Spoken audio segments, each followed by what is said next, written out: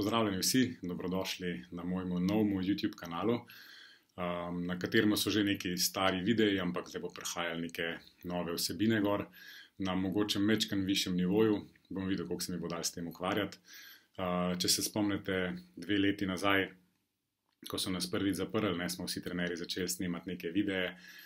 Eni so se zelo profesionalno tega lotili, jaz sem se lotil tako, da sem imel narisan na beli tabli, pa sem pa govoril, kar je na koncu izpadalo, fullover, simpatično. Um, veliko gledal, pa veliko lajkov, pa veliko uh, vprašanj je bilo. Zdaj sem se pa odločil, da ne vem, zakaj, zdaj ko ni korone, tega ne bi več naprej delal. Mogoče ne tako pogosto, ampak mogoče na 14 dni, da pride ven en video. Tako da tale je prvi. Uh, prosil vas bom seveda za komentarje spodaj, kamorkoli bom to objavil na YouTube ali na Facebook ali kjerkoli bo to možno komentirati. Bi prosil za komentarje, kritike in vprašanja, pa kaj bi radi vnaprej slišali. Pripravil sem neko tako mal drugačno temo, kot ste od mene vajeni, uh, ker sem zadnjih nekaj let zelo nasilo delal par stvari. Uh, nasilo sem se hotel spraviti v neko formo, ki je več ne potrebujem. Ne, sigurno ne rabim biti več, ne rabim več trenirati kot profesionalni športnik. Uh, sam vedno povdarjam, da šport ni zelo, no, pa, pa na koncu treniram tako kot tisti, ki morajo, morajo biti v res top formi praktično celo leto. Razni rokometaši, odbojkašice, hokejisti, to so ekipni športi, s katerimi delam, potem je pa tle še tenis, pa plavanje, pa tekvando. Um, in bolj, ko njih treniram, več se ukvarjam s tem, kakšna, kakšna je možnost poškodb, pa katerih poškodb, in potem, bolj ko sem začel raziskovati, kakšne so možnosti poškodbe, je moja naloga, je, kako trenirati, kakšne vaje dajati, na kakšen način, um, kaj sploh razvijati, da bo čim manj poškodb. Ne? Ker dejansko oni bojo v svojem športu napredovali, če bojo svoj šport trenirali. In to oni morajo tistega delati veliko več, se pravi 80% mora biti tistega, kar trenirajo, 20% pa pol mojega dela, ne, da preprečam te stvari, se pravi razne trganine, povečam gibljivost, povečam maksimalno moč ali pa vzdržljivost. In um, mogoče ste opazili, da zadnje čase mečkam več čut kolesarem. Zakaj je to? Jaz sem od 2009 do 2014 zelo veliko kolesaril, užival sem, bila je tista svoboda, ki sem jo čutil. In, uh, je bilo pa tako, da se nam je drugi otrok rodil s Kristino, je dejansko začel zmanjkati časa in za službo, in za kolo, in za normalno za otroke, in eno stvar je bilo treba dati stran. Ne. Tako da je pač kolo šlo. Uh, zdaj pa letos. Uh, je finančna situacija malo drugačna, ker ima tudi Kristina svojo službo, otroka sta že tako velika, da čisto non-stop me ne rabta, pa sta v šoli. In tisti čas, ki sta bila v šoli, jaz pa polet nimam toliko velik dela, uh, sem si normalno vzel za kolone. Tako da sem leto začel spet malo več kolesariti, to ste opazili, tisti, ki me spremljate. Uh, ni to noben cilj, da bi postal nek uh, dober kolesar ali kaj, ampak to res uživam in to mi je hkrati meditacija, pa vzdržljivostni trening. No, in um, lanč me je moja sodelavka, prijateljica Klara, vprašala, uh, odkje sem jaz prišel na ene par idej, zakaj sem prišel nazaj v zdravje. Bilo je tako, da sem začel poslušati o kolesarjenju, velika, ne pač vsake stvari, ki se je lotem. Um, jo pač probujem res naštudirati, ker je bil to hokej, ker je bilo odbojka, rokomet, ne vsako stvar, preden se spustim in rečem, ja, jo naštudiram, pa da vidim, če mi bo šlo. In zdaj sem v kolesarstvu začel poslušati uh, te ta boljše trenerje in sem ugotovil, da trener našega Tadeja Pogačarja je tudi zdravnik uh, in se zelo ukvarja z rakavimi bolniki. Uh, in je začel govoriti, kako je pomembna ista cona kolesarjenja, od cona, kot bomo večkrat kasneje govorili, uh, za rakave bolnike, kot za profesionalne kolesarje. In potem, ko sem o tem začel brati, poslušati, uh, tle gor na vadbajku, tle sem lahko po dve uri gor, gonem kolo, pa imam lepo slušalke v ušesih in se učim. Uh, tako si jaz tudi največ zapomnim, da gledam podcast ne, in sem pač prišel do tega, da me že nekaj časa vlekel, da grem v to smer in uh, da sem se odločil, da malenko spremenim način svojega dela, kar pa ne pomeni, da to ne bo primerno tako za profesionalce, kot tudi za tiste, ki se samo hočejo mečkam boljš počutiti. Um, cona ali pa cena zdravja, ne, zakaj cona bom povedal znotraj tega, pri vsaki stvari, kateri jo bom opisoval. Ceno smo pa videli, kako plačemo, ne? že sam v koroni, potem uh, razne rakava obolenja, razni uh, diabetes in podobno. Ne? Za vse to smo krivi sami. Um, o željah, ne? ko govorimo. To je pač znan rek, že malo zrabljen, ko je človek zdrav, ima tisoč želja. Ko pa zboli, ima pa samo eno. Ne? Se pravi, ko smo zdravi, ko imamo vsega dovolj, ko smo v coni udobja, ampak o tej coni bomo še malo govorili, ker cona udobja ni cona udobja, ne? cona udobja je le noba. Uh, za vlačevanje, in tako naprej. Uh, ampak takrat si želimo, da bi zaslužili več denarja, da bi vem, lep izgledali, da bi imeli boljši avto, da bi šli lahko ne vem kam na počitnice. Ko pa enkrat zbolimo, imamo pa samo eno željo in to je pač, da bi bili zdravi. Zdaj, kakršna koli je ta bolezen, če si zlomimo roko, nas omejuje pri nekaterih stvarih in si želimo, da bi čim prej dal gips dol. To prav, verjetno je vsak že imel gips, tiska ni imel sreča, ne? upam, da ni imel kaj hujšega. Uh, jaz sem si hrbet zelo hudo, hudo poškodoval leta 2017.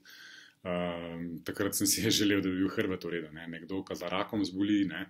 si želi, da bi to. Ampak problem je, da takrat, ko si mi to želimo, je ponavadi že prepozno. Zdaj, zakaj smo si roko zlomili, večinoma smo si krivi sami. Um, zakaj smo raka dobili, tudi zelo, zelo, zelo veliko primerov uh, je, da smo si krivi sami. Ne? Oziroma, za svojim življenjskim slogom povečamo verjetnost tveganja. Se pravi, nekdo, ki je neskoordiniran, ki ni fit, ki nima nobenih mišic, je veliko velik večja verjetnost, da bo padel po stopnicah in si kaj zlomil. Nekdo, ki rad uživa alkohol, je veliko večja verjetnost, da bo prišel do enega pretepa nekje zunaj, da bo padel, kar se mu bo zvrtel, da se bo z avtom zaletel. Ne? In se pravi, povečujemo faktor tveganja. Nekdo, ki kadi, sigurno povečuje faktor tveganja, da bi. Da, da faše pljučnega raka. Ne. Seveda obstajajo tudi genetske potencijali, ki lahko to pač dvignejo, ali pa brez tega, z zelo zdravim življenjskim slogom, um, pa še zmeraj fašemo neko bolezen. Ne. Prav, bolezen ne izbira, ampak sami smo si pa velikrat krivi. Tako da, ja, če si samo želimo biti zdravi, ni dovolj, za zdravje je treba tudi nekaj narediti.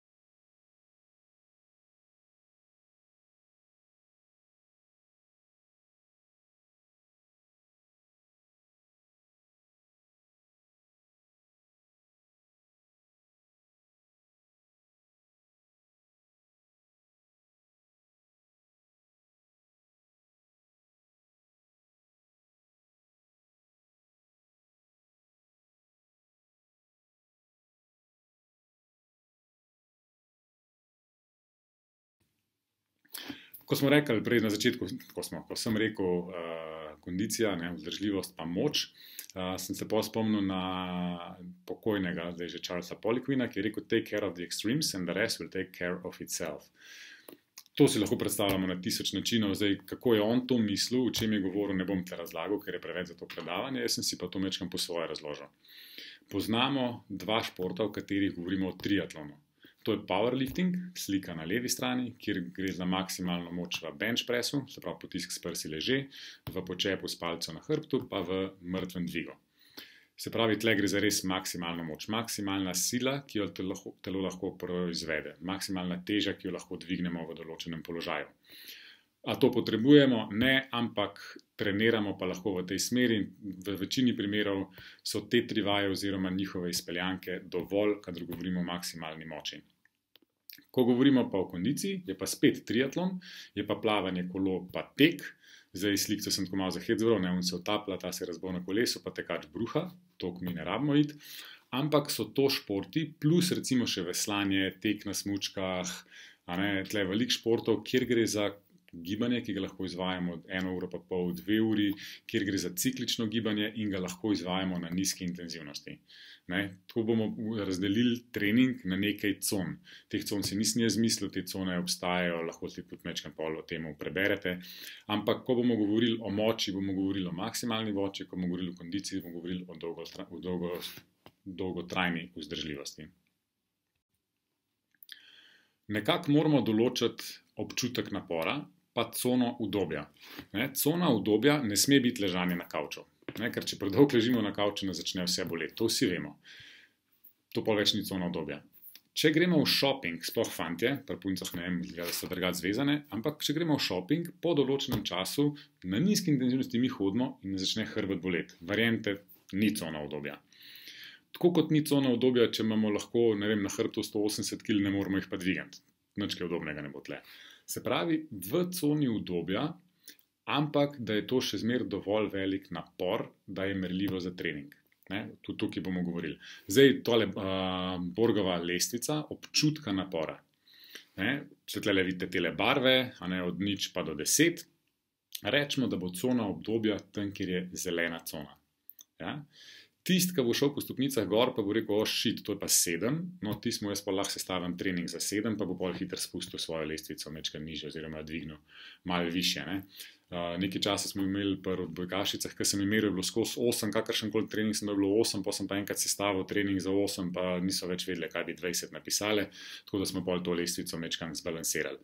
Ampak zelo pomemben je občutek napora, zelo pomemben je, da se poznate in da ste iskreni sami do sebe. In pri tem občutku napora je enako pri vzdržljivosti ali pa pri um, maksimalni moči. Ne, kako to določiti, bomo o tem malo pa temu predavanju, pa vsake stvari se bom lotil veliko bolj resno. Probite si tole zapomniti, ne večkrat si lahko pogledate, kaj pomeni katera cona. Ne, ker če pogledate cona obdobja, številka 3-4 je moderate ali pa sort of hard, se pravi, ni ležanje na kavču. Za začetek ne bo to dovolj.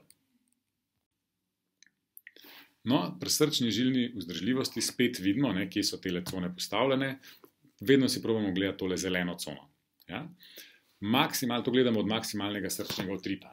Maksimalni srčni utrip, zdaj spet odvisno od pripravljenosti, od atleta, od športa, kako koli, ampak načeloma 3 do 5 minut bi lahko gor držali in s tem ne bi izboljševali svoj VO2 max. Kaj je to, spet naslednjič. Oranžno je na 80 do 90 odstotkov srčnega utripa. Le kako se ta srčni utrip določi, lahko se po formulah najlažje pa da se ga zmeri. Enkrat pridete v džim, pa vam bom hitro povedal. To je intenzivnost, ki jo lahko držimo med 20 in 30 minutami. Če bi lahko več držali, je treba že večkrat dvigati intenzivnost. Pol je pa moderate, spet vidimo moderate, je pa aerobna vzdržljivost, aerobna fitness, aerobik, kako koli. Se pravi, to vzdržljivost je na 70 do 80, ampak nekje na 75 odstotkih maksimalnega utripa, lahko med 50 in 70 minut držimo, oziroma lahko tudi veliko dlje. To bi lahko šli tudi do 2 uri na taki intenzivnosti, ni potrebno. Se pravi, če trikrat na teden po 70 minut tole naredimo, je načeloma veliko več, kot delamo do zdaj, tisti, ki niso v formi. Ne? Potem imamo pa še light intensity, se pravi, je pa do 70 odstotkov, je pa bazična vzdržljivost, se pravi čisto osnovna vzdržljivost, pa kurjenje maščob. Um, veliko ljudi, ki jih jaz poznam, ki so pretežki, ki niso v formi, praktično sploh ne morejo v tej coni trenirati, ker so v tako slabi formi, da čim začnejo malo hitreje hoditi, so že v oranžnih številkah, v oranžnih cifrah. Tako da pomembno je, da si izberemo napor, ki ga lahko delamo nekje na 70-75 odstotkih svoje intenzivnosti in to probamo delati čim dalj časa. Ja? To je, rečemo, temu cona 2, o kateri bom pa še zelo, zelo veliko govoril, sploh za tiste, ki jih mečkam bolj zanima. Um, Ki jih mečkam bolj zanima, kolesarjenje ali pa tudi šport. Poje pa very light, je pa 50 do 60, to je pa active recovery. Se pravi, na 60 odstotkih, med 50 in 60 odstotkov srčnega, maksimalnega srčnega utripa je treba trenirati, da lahko sploh govorimo o regeneraciji. Se pravi, da imate maksimalen utrip 170, 50 odstotkov tega je 85, 60 odstotkov tega je 95. Se pravi, puls morate dvigati do 95 udarcev v minuti, da se sploh začne nekaj dogajati. Tako da, če bi že govorili o coni obdobja, sta to siva pa modra cona in ne ležanje na kavču. Okay? Koliko časa je to potrebno, sploh ta, ta siva cona? Ne vem, da ste imeli en dan prej težek trening, je dovolj 50-60 minut z raznimi vajami za mobilnost, pol se naredijo in je trening zaključen. No, zdaj smo pa pri moči. Tale tabelica je najbolj znana tabelica, kar jih obstaja v vseh knjigah. Je, jaz ne vem, smo imeli 30 knjig, pa skoraj v vsaki knjigi je tale tabelica noter. Kadar govorimo o strength, a ne se pravi tisto, kar je najbolj poudarjeno, se pogovarjamo nekje 4, 5, 6 ponovitev. Takrat najbolj razvijamo strength, to pomeni sila, o kateri sem prej govoril. Power je pa eksplozivnost. Tega o tem tle ne bomo govorili, ker to tle ni za zdravje ampak še zmeraj se dela do pet ponovitev, sam tle so pa pol lažje, ki lažje, pa bolj kompleksni gibi, pa poskoke, pa take stvari. Ko govorimo o mišični masi, ne, se pravi pridobivanje mišične mase, moramo trenirati nekje med 6 in 12 ponovitev, če pogledamo. In kadar govorimo o mišični vzdržljivosti, je tam nekje 16 do 20 ponovitev, ampak to je spet ena taka debata. Ki pa je mi praktično tle ne bomo. Se pravi, mi bi se tle pogovarjali nekje med 6 in 8 ponovitev, Se pravi, to je teža, ki jo lahko varno dvignemo 6krat do 8krat.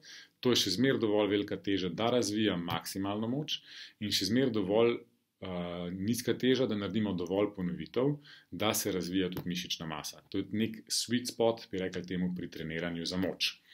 Uh, odstotki, ki jih tle dvigujemo, so nekje od 75 do 80 odstotkov maksimalnega dviga, ki lahko naredimo, ampak to je spet ni za tole predavanje, za tale YouTube link.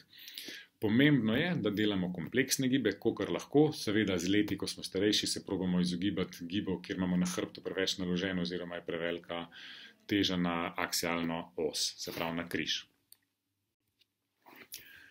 Gibljivost zelo pomembna zadeva, sploh ko smo starejši. Je zelo pomembno, da si lahko zavežemo vezalke, zelo pomembno, da se lahko usedemo, zelo pomembno, da lahko ustanemo.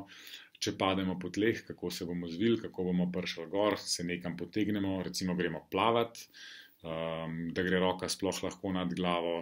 Uh, gremo po stopnicah, rabimo gibljivost, da dvignemo nogo, da se spuščamo dol, se pravi, kovku, koleni, gležnjih, um, da nekaj dvignemo nad glavo. Recimo, se odločimo po 80 letih, da bomo nekam šli z avionom, treba je spraviti pretlago gor nad glavo. Pa treba biti dovolj močan, da sploh koček dvignemo in dovolj gibljiv, da nam omogoča v ramenu dovolj fleksije, da dvignemo nad glavo. Se pravi, tudi za gibljivost je potrebno skrbeti.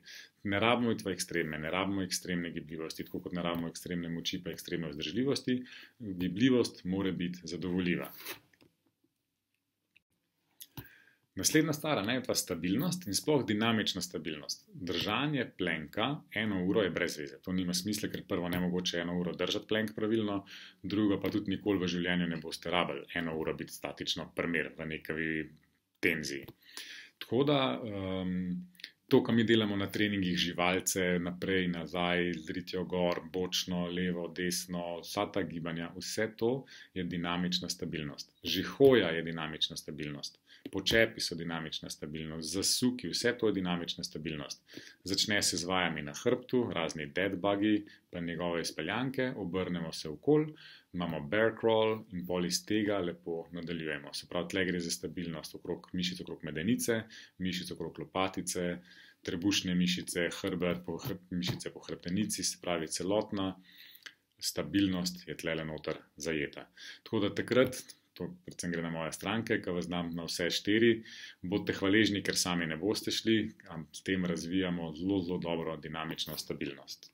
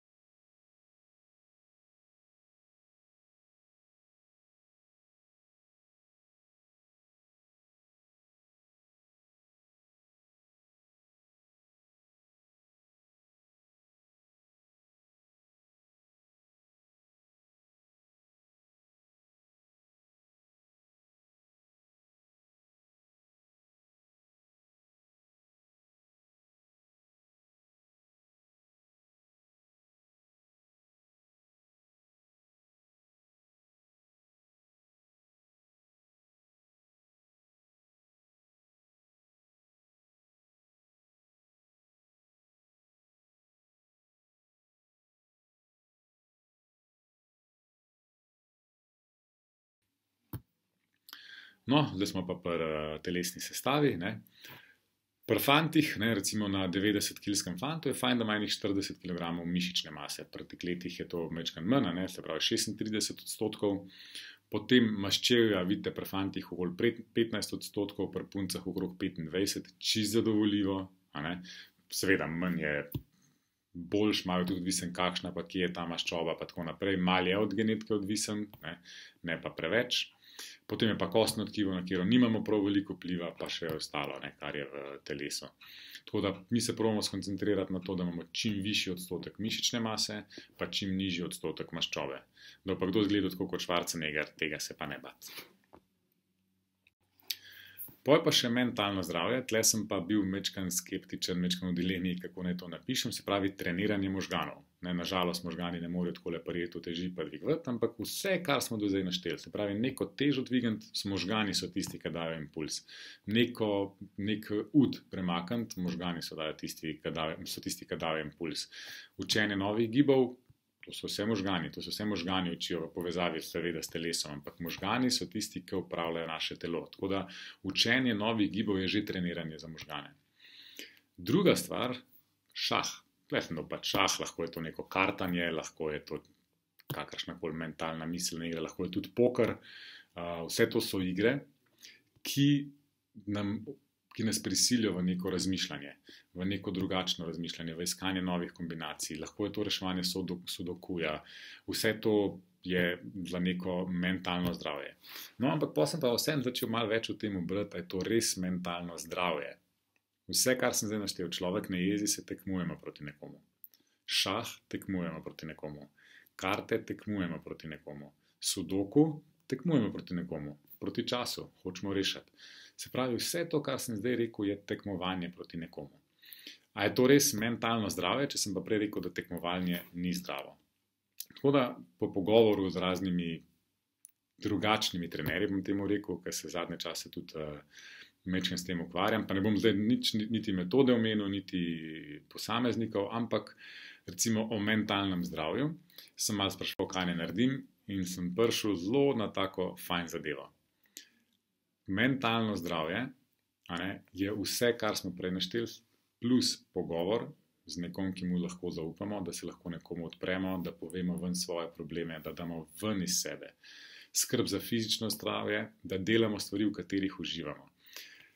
Ok, nekateri pač uživate v gledanju TV. Jaz to ne razumem, ampak ok, če je to, to super, pa ne bo tega eno uro na dan, pa rečemo, da bo to active recovery. Potem pa praksa hvaležnosti in čuječnosti.